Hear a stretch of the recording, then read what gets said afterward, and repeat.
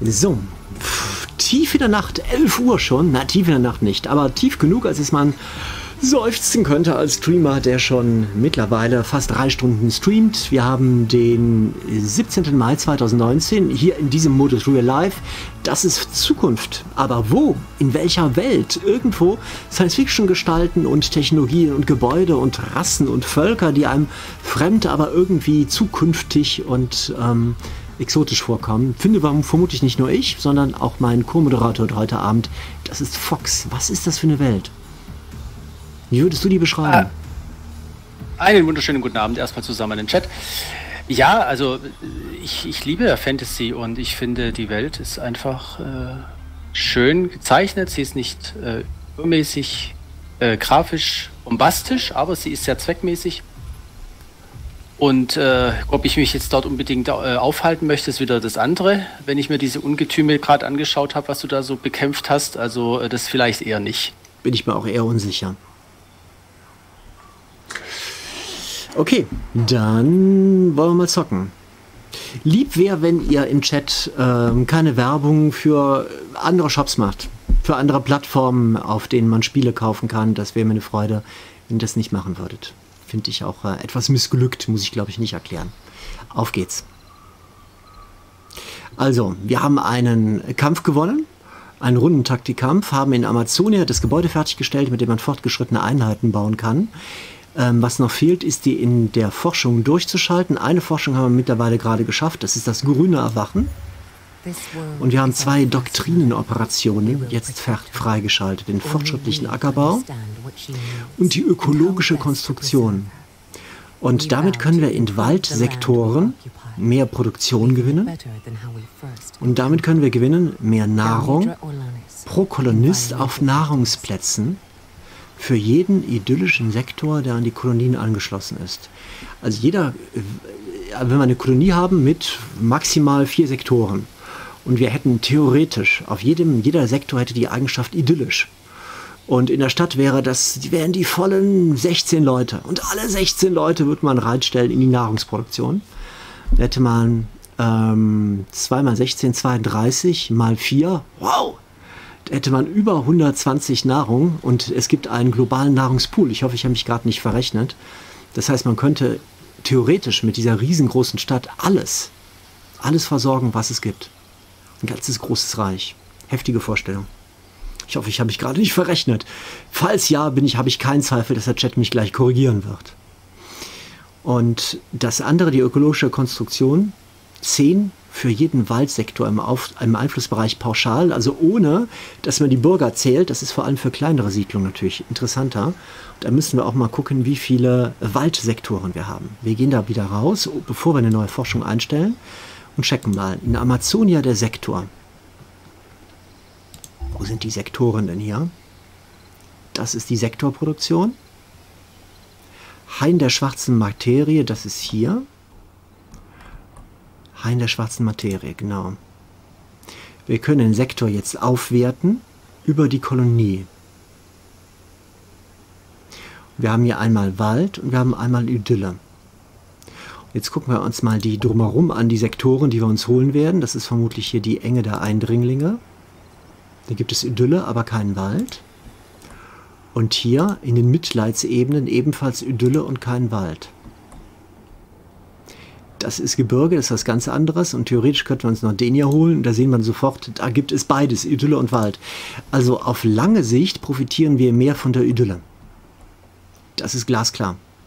Weil die Stadt dadurch viel schneller wächst, weil wir ein, äh, also weil wir genug, weil wir können so viele Sektoren anschließen, dass es überall Idylle gibt. Das wäre kein, kein Problem. Das würde eigentlich dafür sprechen. Das würde dafür sprechen, dass wir das von Beginn an auch so durchziehen gehe mal hier auf Sektor aufwerten in der Stadt. Okay. Dann müssen wir die Zone wählen. Ich versuche mich gerade reinzudenken. Und dann auf die landwirtschaftliche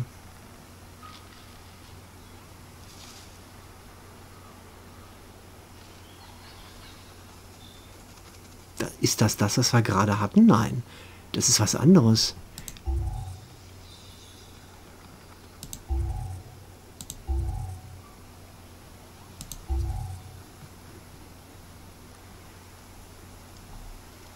Jetzt schwimme ich gerade ein bisschen, muss ich ehrlich gestehen.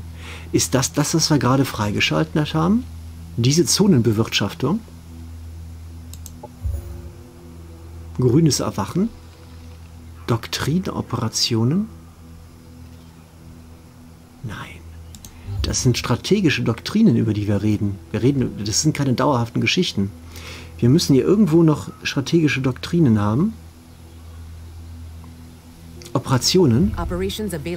Ah, genau. Alles klar. Hier sind sie.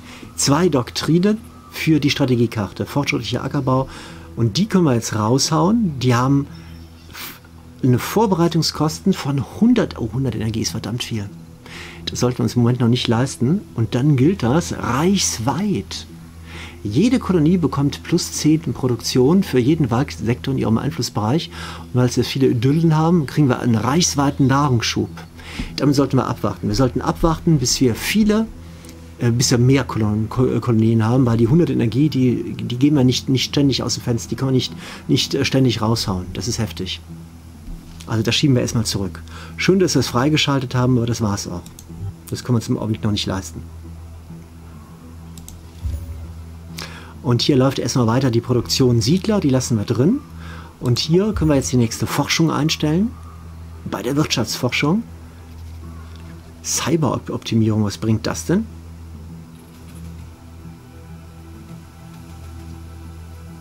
Boah. Alle Plätze für Produktion und Energie, in der Regel sind das ja, ist es ja Produktion, die wir nutzen, produziert plus zwei mehr Produktion für jeden Kolonisten, der dort arbeitet. Klingt nach viel, aber ähm, den größten, wir haben ja nur eine Kolonie bislang, den größten Teil der Produktion dort holen wir sowieso durch das äh, Palastgebäude, durch das zentrale Hauptstadtgebäude. Das bringt gar nicht so viel. Marineeinsatz ist für Schiffe wichtig. Dann könnten wir was alles machen. Wir können Basen auf dem Wasser bauen.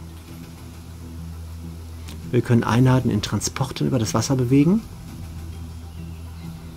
Und die Zahl der benötigten Bewegungspunkte, wenn man auf Land über einen Fluss geht, ist reduziert, dauert nur zwei Runden. Grenzanlagen haben wir schon erforscht. Gebietsüberwachung, was bringt das? Wir können Beobachter einsetzen, das ist eine Operation. Und die Station, dann haben wir mehr Sichtweite, Sensorenabdeckung, die Station ist getarnt, finde ich in Grenzgebieten wichtig, finde ich im Augenblick nicht wichtig. Dann deckt den Standort jenes unerkundeten Herbeirufers auf, der der Zielkolonie am nächsten ist. Das bezieht sich vermutlich auf diese roten Felder auf der Karte, wo laufende Einheiten spawnen. Könnte sein, ich kann nur mutmaßen. Und das dritte hier, Potenzialrang.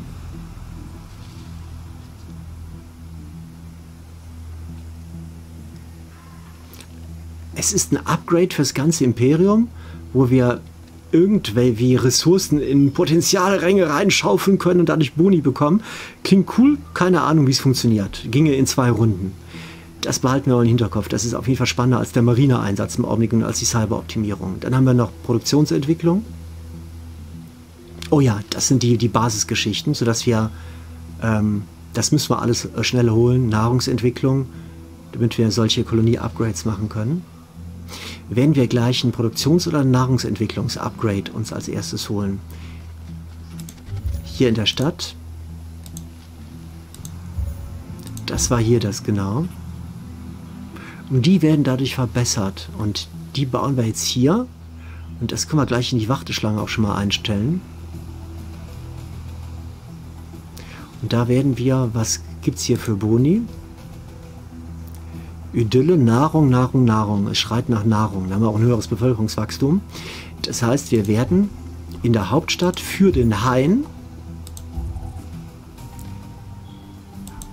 genau, das einstellen, landwirtschaftliche Bewirtschaftung. Null, zwei davon können wir insgesamt in der Kolonie bauen. Das heißt, in zwei unserer bis zu vier Sektoren, die wir haben werden, die können wir auf Landwirtschaft spezialisieren. Ich stelle das mal in die Produktionsschlange ein. Das kommt also nach dem Siedler. Ich hoffe, ihr konntet mir folgen. Ich selber habe mir das gerade so halb zusammengereimt. Mir scheint das aber plausibel zu sein. Ich hoffe, dir auch, Fox. Dann können wir hier die, den Kommandanten aufwerten. Sarai Lorek hat so viele Erfahrungspunkte bekommen, dass wir uns einen Helden-Upgrade holen können. Wir haben fünf Skillpunkte gerade bekommen. Das sind die verfügbaren. Sehschärfe. Ich hätte gerne mehr Sehschärfe. Der Held, wir, wir gucken mal kurz, äh, was wir können uns. Wir haben ja fünf Punkte, wir können uns auch mehrere kombinieren. Am Steuer. Was bringt denn das? Der Held kann Fahrzeuge ausrüsten. Ja, das, wir haben im Augenblick noch gar keine Fahrzeuge. Alle Angriffe haben 5% mehr Treffsicherheit. Nahkampfspezialist, nee, wir, das ist ein Fernkämpfer. Fernkampfspezialist, der verursachte Schaden um 10% erhöht. Das klingt wenig, ist aber cool. Wir hatten mehrfach die Situation, wo Einheiten, die wir beschossen haben, nur noch wenige Trefferpunkte hätten. Vitalität, 10 weitere Trefferpunkte, ist auch gut. Biologie-Experte, Ah, das ist das, wo ich eben drüber gesprochen habe. Als wir, erinnerst du dich, Fox, also zu Beginn des Streams darüber geredet haben, ob man eventuell die stärksten Einheiten in einer Heldenarmee zusammenfassen soll, weil manche Helden Fähigkeiten haben, von denen alle Einheiten in einer Armee profitieren. Und das wäre hier so eine. Die, deshalb ist die auch so farblich äh, markiert. Der Held bildet seine gesamte Armee, die er kommandiert, im Umgang mit biochemischen Waffen aus. Und alle Einheiten der Armee haben plus zwei Widerstand gegen Gift, Kampfkotze oder wie immer das da heißt. Dann noch, ja. Das wird wahrscheinlich auch so eine Fähigkeit sein, äh, die jede Fraktion ein bisschen anders hat. Also jeder Held wird da ein bisschen anders äh, strukturiert sein.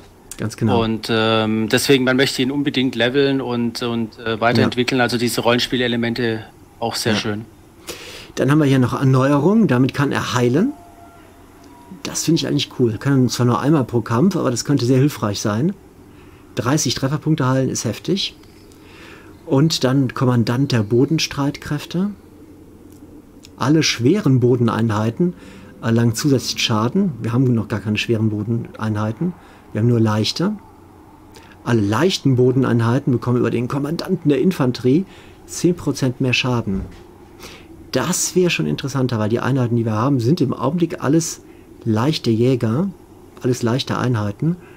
Das ist der zweite Spiegelstrich von unten. Gilt für alle diese Einheiten hier. Ist allerdings zu Beginn der Partie mächtig, später nicht mehr. Weil später werden wir wahrscheinlich viele schwere Einheiten eher haben. Aber trotzdem finde ich sehr spannend. Flugeinheiten mehr Schaden, weiß nicht. Ruhige Hand. Er trifft mit 50, aus der Deckung treffsicherer. Sehschärfe, er kann weiter gucken. Störender Hack, sendet eine Störwelle aus, um ein Gebiet zu hacken. Also ich finde es am spannend, also diese Heilung, die Frage ist, können wir später Heileinheiten bauen? Können wir garantiert. Dann ist das mit der Erneuerung gar nicht so interessant. Am Anfang klingt das super cool, aber auf Dauer haben wir wahrscheinlich spezielle Heiler immer dabei. Ich würde gerne gehen zu ähm, den, dem Kommandant der Infanterie, denn auch wenn es auf Dauer nicht so viel bringt, leichte Bodeneinheiten zu boosten, im Augenblick wird das heftig. Aber wisst ihr was, wir gucken uns auch mal die Tier 2 Einheiten an, die wir jetzt gleich freischalten. Die wir durch die Forschung fertig haben, diesen hier, die Arborianer Wache. Die schauen wir uns mal an. Ob das auch eine leichte Einheit ist. Und das wäre die erste schwere Einheit. Und schon, wenn wir davon mehrere bauen würden, wäre der Skill, den ich mir gerade holen wollte, wieder komplett unnütz. Na klasse.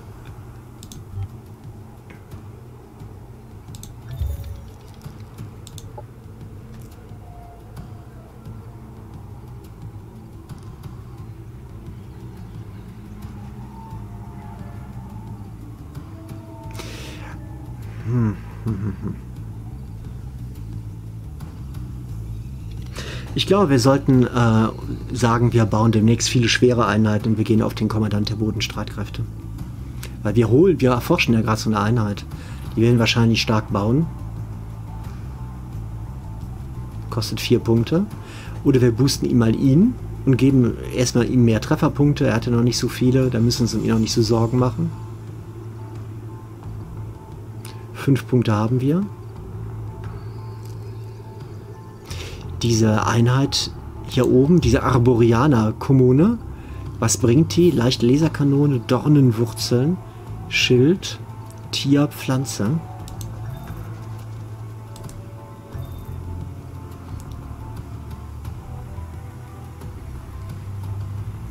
Oh, das ist ein Nahkampf.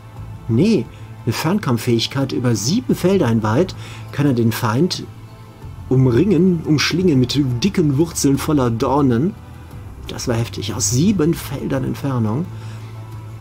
Kann, ist aber nur ein einmaliger Angriff. Blutung wird zugeführt. Viele andere Sachen. Leichte Laserkanone. Das ist mir so eine Standardgeschichte. Kann sich selber eingraben und heilen. Thermische Angriffe, erhöhte, erhöhter Schaden. Ja, hm. ich bin ein bisschen hin und her gerissen. Aber irgendwas müssen wir machen. Die Welt geht ja nicht unter, wenn wir uns jetzt die ein oder andere Sache holen. Wir können ihm auch beide Fähigkeiten im Prinzip geben. Ich gebe ihm mal die, das mit den leichten Bodeneinheiten. Davon profitieren wir jetzt sofort.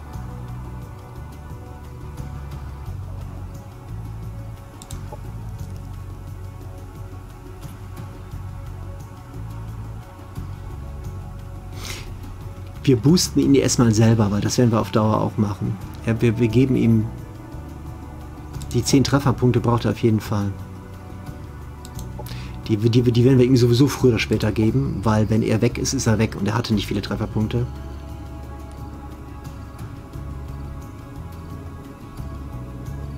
Und den Rest, da sammeln wir und geben ihm später noch was dazu.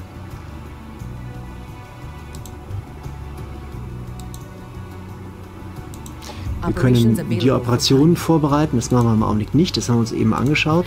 Und wir können mit Einheiten hin und her ziehen. Wir gucken, dass wir hier oben... Achso, wir wollten noch eine Forschung einstellen. Das war diese Forschung hier genau. Die Wirtschaftsforschung. Und da hatten wir gesagt, wir machen das mit der Nahrung. Stellen hier also die Weiterentwicklung von Nahrungsförderung ein. Dann wollen wir hier oben noch mehr aufdecken mit unseren Einheiten.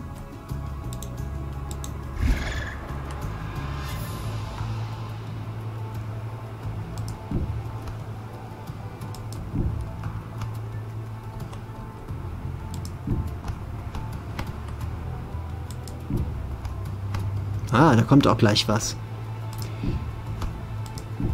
Das sammeln wir gleich ein.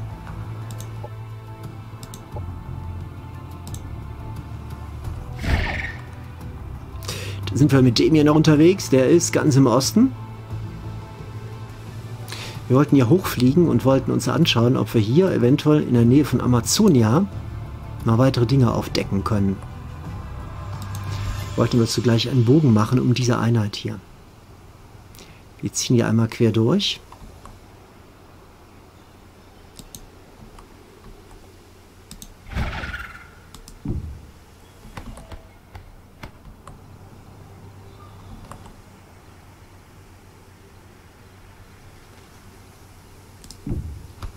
Ja, jetzt ist er hier weg. Nicht, wir sind da wahrscheinlich auch nicht mehr in seiner Sichtweite. Und hier, oh, hier müssen wir aufpassen. Fliegen wir mal unten rum und decken hier noch mehr auf. Da ist auch was, was wir aufsammeln können gleich. Und es ist mehr Forschung. Das ist gut. 22 Forschungspunkte. Das heißt eine Zweidrittelrunde, die wir gespart haben.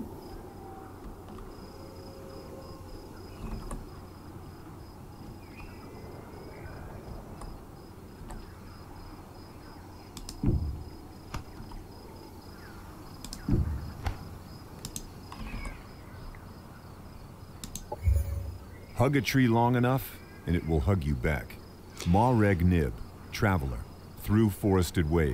Durch die Forschungspunkte, die wir gerade bekommen haben, haben wir diese Forschung schon abgeschlossen. Die Arborianer Wache, die wir uns eben angeschaut haben, ist, wäre jetzt von uns baubar. Wenn wir ein Spezialistengebäude haben, ich glaube, das ist ja das, was wir eben uns ausgewählt haben. Das heißt, jetzt sollten wir die Arborianer als Belohnung ausgewählt haben. Das heißt, jetzt können wir sie bauen. Wenn ich mich nicht ganz schwer täusche. Wir werfen mal einen Blick in unsere Stadt rein. Und hier steht sie. Amazone Arborianerwache jetzt baubar. Okay, wissen wir Bescheid. Alles klar. Stellen wir aber erstmal nicht ein. Wir ziehen erstmal die anderen Sachen durch. Dann nächste Forschung.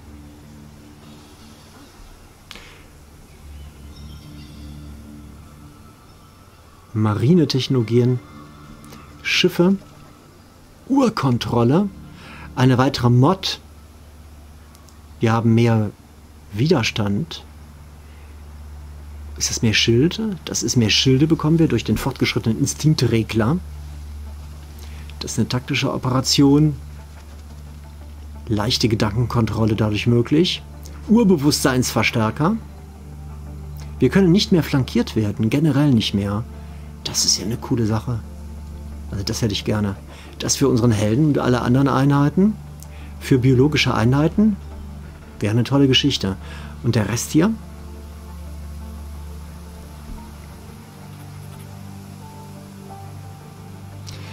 Zehn Prozent mehr Schaden auf alle Fähigkeiten, wenn wir diesen Mod jemandem geben. Ein Offensivmod, zähflüssiges Gemisch. Das klingt aber auch gut.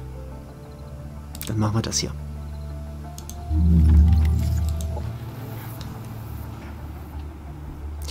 So, und das ist unsere Hauptarmee. Hier sind wir weiter mit den Sperren unterwegs. Sind im Südwesten der Karte, hatten hier das Meer erkundet und hatten gesagt, hier links wollten wir hinfliegen, weil wir das hier mal kennenlernen wollten, wie das funktioniert. Die Wohnstätte von Uruzok Wachstum Mutterknoten. Weil man da eventuell Handel treiben kann. Da bin ich jetzt schon, schon neugierig. Dafür fliegen wir ein Stückchen nach oben.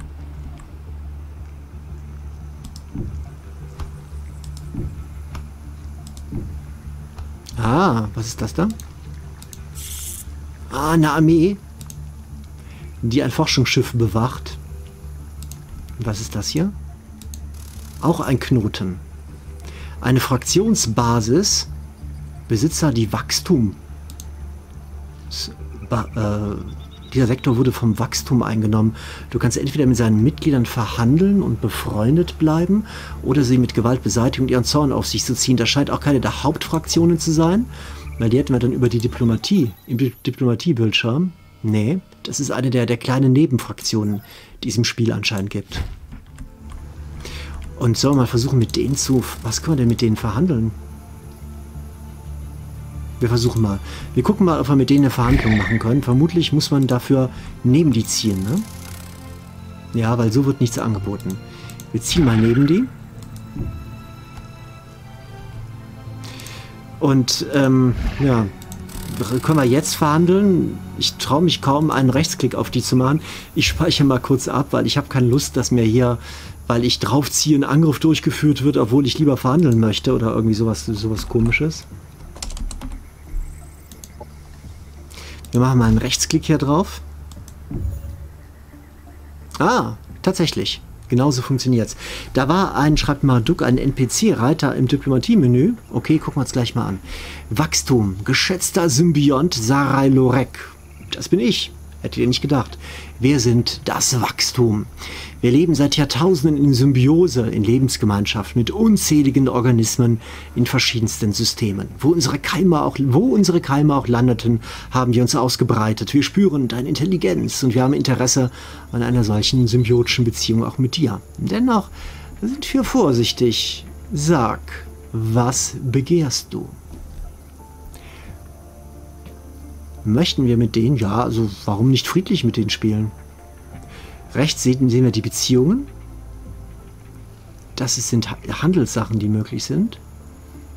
Und da geht es um Sektoren. Integration, Freundschaft, Frieden, Neutral, Krieg. Das sind die verschiedenen Stadien, die wir mit denen haben. Das Beste ist Integration, das Schlimmste ist Krieg und wir sind im Augenblick auf der Stufe Neutral. Deshalb ist ja so ein blaues Symbol, das steht für unsere Fraktion. Hier könnten wir auch ablesen anscheinend, wie andere Fraktionen zu denen stehen würden, in jeder der fünf Phasen, die stehen würden. Ah, Diplomatiestatus neutral. Und wenn wir 20 Diplomatiepunkte ausgeben würden, das sind die hellblauen, das war nicht die hier oben, ne? Ist das, sind das die Einflusspunkte? Nein, das ist irgendwas ganz anderes. Gunst. Ah, wir müssen. Gunst repräsentiert die Freundlichkeit, die du gegenüber dieser NPC-Fraktion an den Tag gelegt hast. Das heißt, das ist eine bilaterale virtuelle Ressource, ähnlich wie der Groll bei Civilization 6 Gathering Storm. Wer das Spiel kennt, weiß, was ich meine. Und das ist, funktioniert im, im Verhältnis, im bilateralen Verhältnis zu dieser Fraktion hat man einen Gunstwert. Und der kann anscheinend nur positiv sein. Je mehr Gunst man sammelt, durch freundliche Aktionen. Dann kann man die irgendwann investieren in Aktionen. Aufträge, wir können sie bekommen durch das Abschließen von Aufträgen oder den Handel mit solchen Wohnstätten wie diesem hier, wo wir gerade vorstehen. Wenn ein gewisser Wert an Gunst erreicht wird, verbessert sich der Beziehungsstatus mit dieser Fraktion. Wenn wir Forderungen nicht nachkommen, wird die Gunst auf Null gesetzt. Das ist ja heftig. Geschieht dies, wenn der Wert bereits Null beträgt, zieht diese Fraktion sogar gegen uns in den Krieg. Das wäre ja noch heftiger. Okay, ist das hier ein Scrollbalken? Ja, aber nur ein ganz kleiner. Und ich, was ist das hier? Nur in Wohnstätten Handel. Noch können wir keinen Handel treiben. Vermutlich, weil wir das hier noch nicht beantwortet haben. Und das sind die statistischen Angaben zu deren Sektor.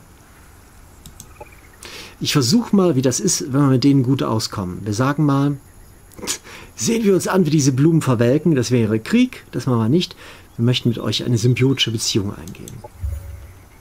Eine kluge Wahl. Unsere Beziehung ist noch ein Schößling, aber wir benötigen Hilfe bei einem Problem, das wir nicht selbst lösen können. Könntest du uns dabei Unterstützung, die Belohnung dafür hast du bereits erhalten. Das sind die Quests, die mir am liebsten sind. Was können wir für euch tun? Wir haben die Belohnung schon erhalten. Welche soll denn das sein? Mal gucken. Vielleicht wird uns das gleich nur angezeigt. Salatkult. Nein. Es ist so schrecklich. Ihre Grausamkeit kennt keine Grenzen. Diese Kultisten kochen unsere Knollen, verzehren unsere Blätter und pflücken unsere Kinder von den Ranken, die sie in Scheiben schneiden, in Zuckerei legen und anschließend genussvoll verschlingen. Jede Ranke erzittert bei dem Gedanken an den humanoiden Kult namens Vegetarier. Uh, diese bösen, mörderischen Vegetarier. Könnte mir nicht passieren. Ich ernähre mich grundsätzlich nur von Fleisch und von Aas. Da sieht man mal, wie mörderisch diese Vegetarier sind. Herrlicher Text, schreibt Rubbel die Katz. Haha, schreibt Marduk. Sehr, sehr witzig. Der Salatkult. Wir müssen vier Einheiten des Salatkultes Kultes, äh, killen. Dafür haben wir zehn Runden Zeit und die Belohnung, die wir erhalten, zehn Relation Bonus, also zehn Gunst Bonus, zehn Einfluss pauschal und 26 Nahrung. Ich die Frage ist, wo ist das? Das Blöde ist, ach, schließen heißt, wir können uns das immer noch angucken, vermute ich mal. Ich gehe mal auf Schließen und wir gucken uns erstmal an, wo die sind. Wo ist der Salatkult? Wird uns das, wurde uns das gerade dauerhaft aufgesetzt, aus, äh, angezeigt? Hast du das erspäht? Nee, leider nicht. Nachricht von der Wachstumsfraktion. Enge der Eindringlinge. Wo ist der? Es gibt leider nichts, wo man draufklicken könnte, um sich das. Hier! Nein, wir sind schon vor Ort. Das hier kann man draufklicken, aber dann gehen wir nur zur Enge der Eindringlinge. Das ist das Symbol. Das ist echt blöd. Wo ist der Salatkult? Ist das der Salatkult? Im das Im ist Chat, der Ich hätte gesagt, bei deiner Stadt. Hier ist bei er. Stadt.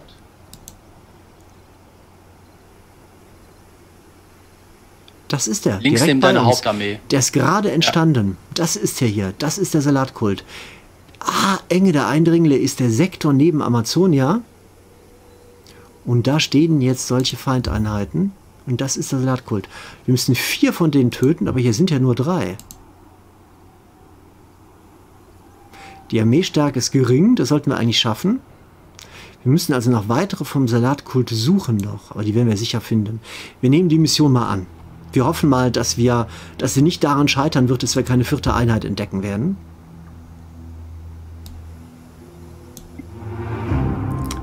Vielleicht müssen wir abwarten, bis da eine vierte Einheit entsteht noch. Ich weiß es nicht. Ihr Lieben, wir haben jetzt äh, schon wieder eine halbe Stunde gespielt. Wir haben halb zwölf in der Nacht. Wir machen wei morgen weiter. Ich muss ein bisschen bei Kräften bleiben. Uns am Sonntag steht uns ein siebenstündiger Stream ab 16 Uhr bevor. Ich mache jetzt mal den Deckel hier drauf. Das war der heutige, der zweite Livestream mit Age of Wonders Planetfall. Weiter geht es am Samstag ab ähm, 20 Uhr bis 24 Uhr und dann am Sonntag, den 18. Mai, das große Preview-Finale 16 Uhr bis 23 Uhr werden wir euch für euch weiter streamen. Aufzeichnung Stopp. Im Chat kann ich gerne noch ein paar Sätzchen und ein paar Minuten mit euch ein Schwätzchen halten.